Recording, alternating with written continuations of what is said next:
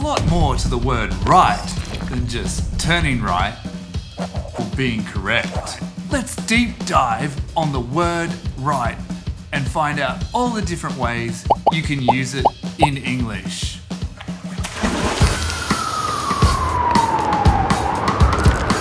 Hi, my name's Damien, and I'm the sledgehammer that smashes down English language barriers. This series is all about getting smarter with your English vocabulary.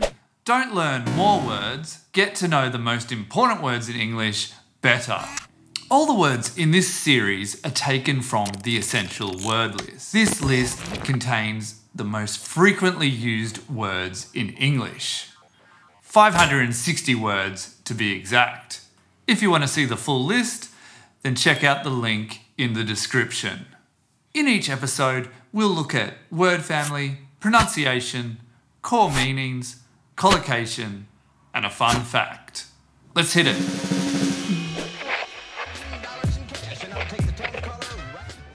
Some common forms of the word include right, rights, rightfully, and righteous.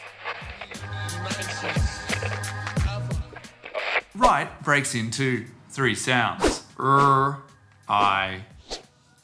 Now, you might have some problems pronouncing r.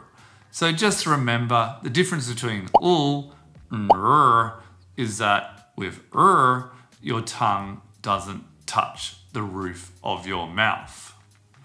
Also, if you come from a tonal language like Thai, you might not pronounce those final sounds, but it's important to get that and make sure there's some breath coming out when you say right.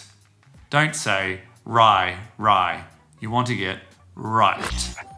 Okay, and finally, uh, for a spelling pattern tip, you have IGH, which often represents the vowel sound I. Here's some examples light, might, fight. If you're enjoying this video, then help me out by sledgehammering that like button. It helps me keep making free videos for you. Meaning one, exactly. He kicked the ball right into the back of the net. Meaning two, immediately. I knew right from the start this armed robbery wasn't going to go well. Meaning three, morally correct. Do you think it was right to cheat on the IELTS exam? English power tip. Whenever you find a high frequency word, don't stop at Google Translate. Take it one step further and look up your word in an English to English online dictionary. You'll find lots of different core meanings and Example sentences. Collocations are words that go together. Think of collocations as Lego bricks that fit. For example, you might say melted ice cream, but you don't say burnt ice cream. Learn collocations and you'll be a lot more fluent in English. It's a lot easier to carry around chunks of words rather than single words. Here are some good right collocations to get you started. Human rights, equal rights, animal rights, get something right, and exactly right. To find out more collocations for the word right, then look down in the description for two great tools that help you find collocations. They're called Play Phrase Me and Just the Word.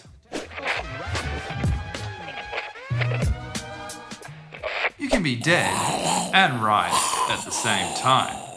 The idiom dead right means completely correct. Radio, we are all done. If you haven't already, subscribe and I would be honoured to be your coach on your English language journey.